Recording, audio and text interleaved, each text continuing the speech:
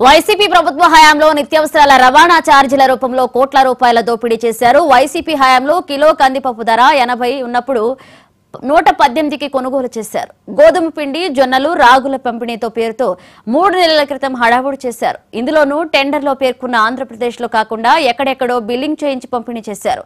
లెక్కల్లో మాత్రం రాయలసీమ నుంచి ఉత్తరాంధ్రకు సరఫరా చేసినట్లుగా చూపి రవాణా ఛార్జీల రూపంలో కోట్లు నొక్కేశారు.